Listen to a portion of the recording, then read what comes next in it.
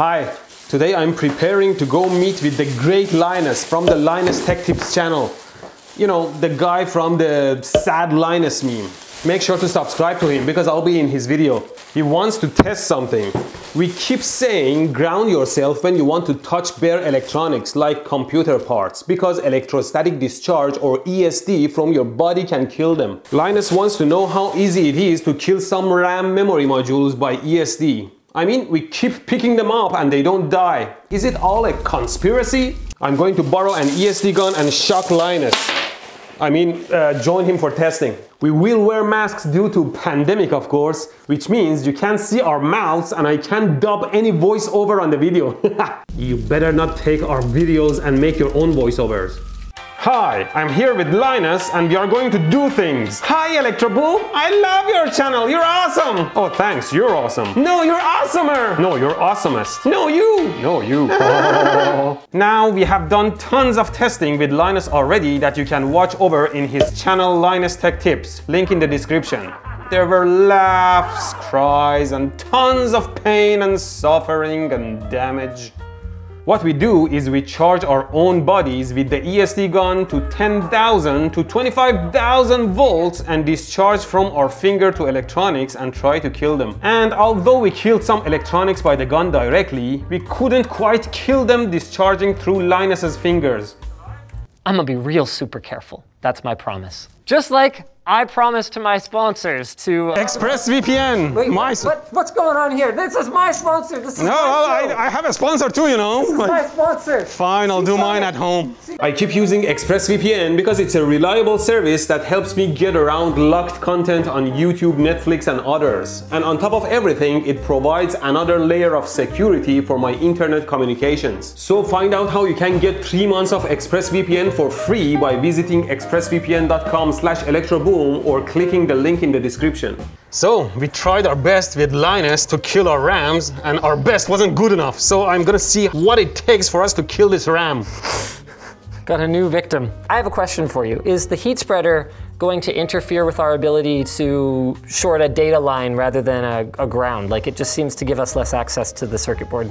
Well, with the heat spreader, especially heat spreaders are connected to the ground, it means that if we zap that, it will definitely go to the ground and the board probably wouldn't die, which is what we want. But these but, are not connected to ground. I mean, if they're not connected to the ground, then they can jump to a random point. And in that case, it might be a data line and it could be to our advantage. Even with that on, I think all the data and address lines are exposed on the side of the board here. So we should be able to zap that. I'm thinking I'll connect these heat spreaders to ground and then try to find a data line then and just try to kill it. With your finger? Yeah, with my finger, yes. So this time I get to hold the gun. Yeah, exactly. The roles are switched. To make it reasonable, are you changing the voltage there? What? Don't change the voltage on me, okay? to make it realistic, I'm gonna connect the uh, heat spreader to ground, so we are assuming that it's sitting on some conductive table because it would be the worst case. And then I zap it with my finger to a data or address line. That would be the strongest discharge and hopefully will kill the RAM. Let's do it. So what Linus is gonna do is to charge my, my body with, with what? What did you do there? Go ahead, I'm not touching any other ground, am I? It's just 12, it's just 12. Oh, good. okay, go ahead. Charge me up. Okay. So now I'm trying to find a data line, hopefully. Ouch! Oh, it was painful. I told you it was painful. I, I feel your pain now. I did it at 20. Oh my god, 20? 20? Mm, no. well, let's try it now. I think I, if I'm not wrong, maybe I jump to a data line. Let's see if it's dead or not. Uh, the, the one nearest one to the socket is definitely is working, good? so. Uh, it works anyway. No luck. Well, I mean, I was lucky. I get to do this again now. Vengeance is mine.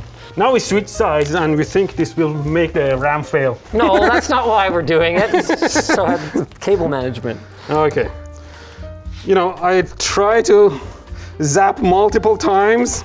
It's not gonna kill my watch, is it? Okay, here, charge me up. Oh my God. Oh, yes. I mean, oh no. That's a data line, isn't it? Oh, jeez. Okay, again. I'm gonna zap as many, ouch! I, I think it's just jumping to the ground. I'm not getting any data lines. Oh my god. Let's try it. I mean, how victim here. strong can this thing be? There we are. It's working. It's working. Damn it! It's great. He was like, how about for my channel, we do a video where I keep trying and we definitely kill it with a finger. And I'm like, fill your boots. I'm gonna kill it one way or another. Because it's not easy.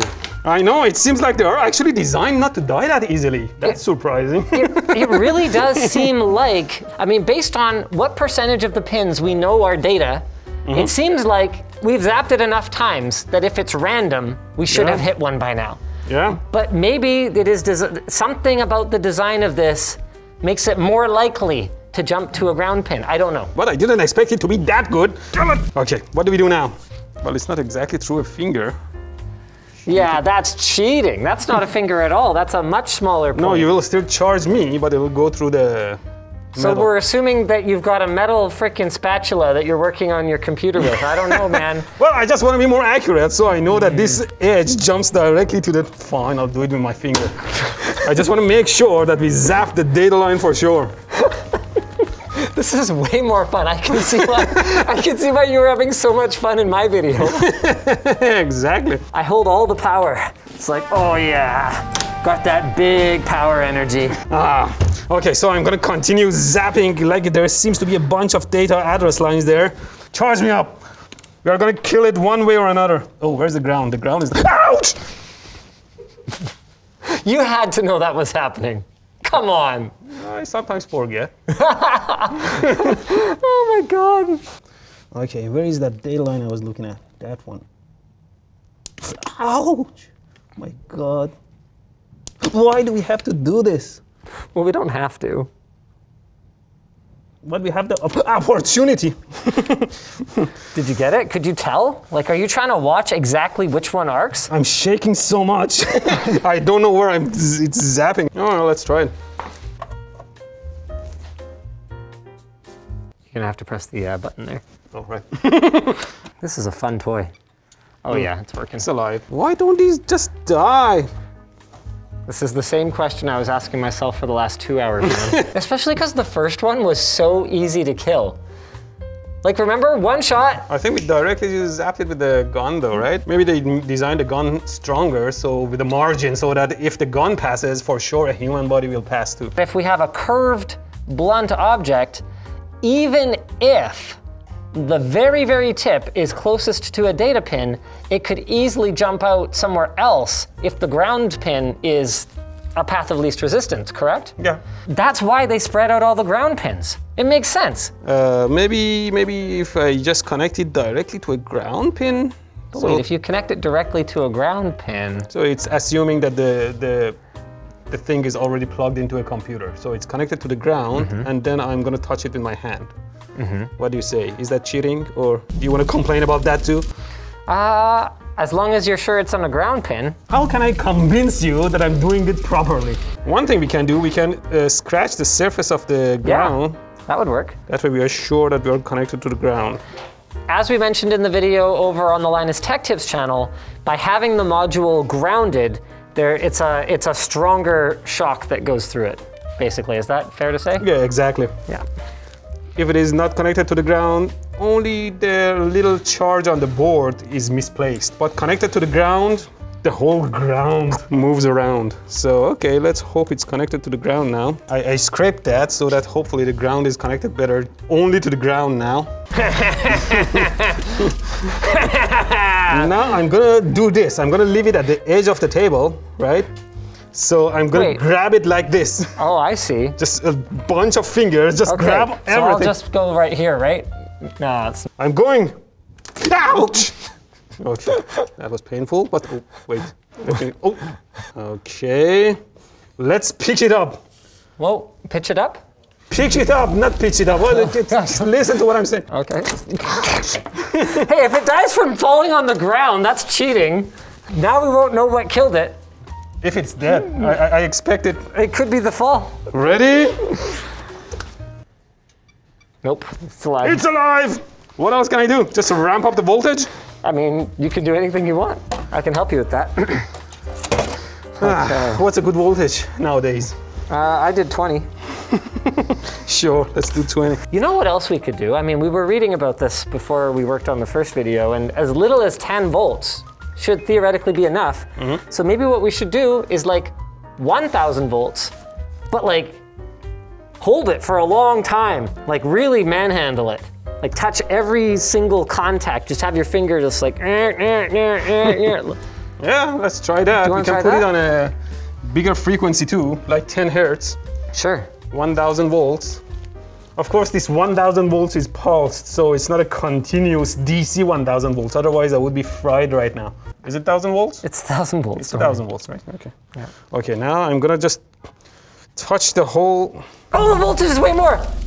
No, so as you- I don't feel even anything feel at all, no? Yeah, it's definitely going. Is it? Yeah.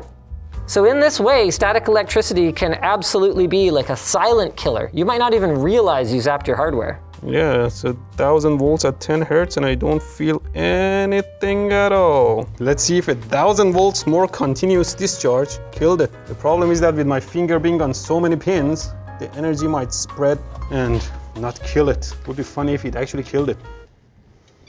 It didn't. Didn't. It's even funnier if it didn't because now we get to turn the voltage back up.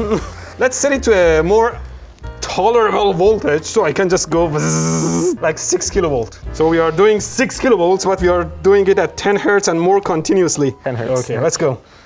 Okay, this is still probably gonna hurt. Uh, hopefully not as much. Ouch! It is hurting, damn it! Ow! Ow! Ow! Ow! ow. Come on! You better kill it! Ah! Ow! Ah. Ow!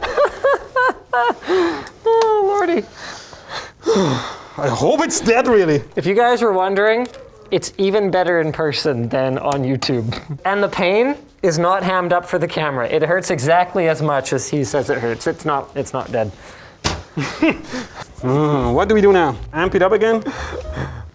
Okay, technically that's not amping it up, is it? Volting it up. Hey! I got one! Yeah, you're right. One extra point for you. Why doesn't it die? That's very strange. I can't think of why. You know how much I've done ESD testing in my life and how easily I've killed boards before and this thing with no protection is withstanding all that discharge is just annoying. Just pick the voltage you enjoy. The voltage I enjoy, 69. Six doesn't well doesn't go over 25. Sorry. All right. I, I, I, can't. I don't I don't have it in me to set it to a higher one. You set it. Okay, you set I'll it do and I'll hit you with 20. You're gonna do 20? okay. One We are, we are done being reasonable. This is 20 kilovolts, one hertz. Are you ready? I hope it doesn't hurt. Ow! Let's hit it again. Well, let's see if it's dead. so you want to try it? Hopefully it's dead. I don't want to try that again. For the love of God, be dead. Please, have some mercy. No, what you doing? It's alive! I don't think it's gonna die. The protection is just too good. It's almost like the engineers who design computers, like do it for a living. We're gonna remove the heat spreader and get to the signals better. So, you know, the heat spreader is actually helping this thing because it's covering most of the signals and chips. And if you touch it, uh, it is less likely to touch a sensitive area and will most likely will jump to ground. But without the heat spreader, maybe my finger can glow, get close to a, like a sensitive signal and kill it. The only trick is when you remove the heat spreader, you gotta make sure you don't um, pop off a memory chip. oh, damn it, I popped a memory chip. See, ESD killed our RAM, as you can clearly see. All right. Uh, Did it pull it off? yeah, it Oh my. God. Pulled off most of them, actually. So far, we have been unsuccessful in killing the ram. I was expecting it to be much easier, but no. But don't raise your hopes. You always ground yourself to make sure you're not charged on your body, because if you touch electronics with it, you will very likely, well, apparently not very likely, but you may end up killing it, and it will be an expensive death. Yeah, and likely is sort of the word I would not, I'm gonna, not gonna it's- use it's- anymore. it's- apparently, from our experience, it's not likely to kill it. At least, I don't know, with the Computer setup we have. anyway. Yeah, with the setup we have, gun connected to my body and my body jumping to the ram is not killing it. But the gun directly jumping to the ram, it's much easier to kill the ram. Now we can see my beautiful assistants here. is trying to remove the heat spreader by heating the heat spreader and the glue will come off without raising all the chips with it. Yay. Well, let's make sure it still works. I'm not gonna let you cheat. This poor memory. Oh, it's alive, huh? Ratchet. What you doing? You're not planning any evil deeds, are you? I would never plan any evil deeds. Well, let's do 12 now that everything is exposed. Maybe you are in a better shape to kill it in a more reasonable way. There's no way you're gonna be able to hit that like that. Isn't it so, so blunt? Well, no, I was zapping this ouch, pull-up resistor there. Just one discharge, one and a half actually. But let's see. Nope. Well, I think it's just probably not enough voltage. That's That's probably possible. not the problem. okay, put it on 20k. You want 20k? Sure. Okay. Your wish is my command. Okay, ready? Okay. Is it 20? Now it is. What is it jumping to? What's going on? You have your hand on the table. Oh, I was charging the table. Ouch! Okay, that was a good shot. That was a good shot. Let's try another one. Ah! Why do I do it? Are you not done yet? no, I'm gonna kill it no matter what.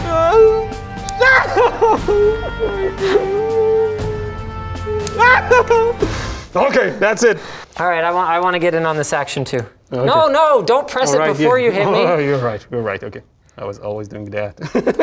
Yeah, it was totally unnecessary. Ah, okay. I don't think it's dead. I don't know what I would do if it's not dead now. It's dead! It's dead! Yes! All we needed to do is to raise the voltage to 20 kilovolts. and zap it like eight times. Yes. Yeah. so that is theoretically possible to do in the real world. yes, it is. So touching, say, computer parts without ESD protection is like playing Russian roulette with them. It might not be very likely, but it can kill them. So at least discharge your body touching ground before touching them. Yes, they will kill your RAM. You saw it here first. Yes. Brought to you by. Uh, Some random companies. No, it's ExpressVPN, it's ah. mine. It was a very fun day with Linus. He's such a great guy and has a great team. Make sure to watch his side of the video and subscribe to his channel for awesome tech tips. And thanks to ExpressVPN for sponsoring this video. Thanks to ExpressVPN, I can connect to internet through a different country by rerouting my connection through one of their many servers around the world. Not only ExpressVPN masks my IP address from annoying tech companies trying to collect my data, it unblocks shows and movies that are only available in other countries. For example, you want to watch the Grizzlies, but it's not available in Canada. You connect to ExpressVPN through US, refresh, and there you have the Grizzlies, as well as a ton of other content you can find using ExpressVPN. And without a VPN encrypting your data, your internet service provider can see all the websites you visit, even if you use incognito mode. Even in incognito! In some countries, they even store logs of websites you visit for two years. And in some countries like America, they are legally allowed to sell your data. So make sure to check expressvpn.com slash electroboom to find out how you can get three months free. So you can watch all the new shows you want while staying protected. And thanks for watching.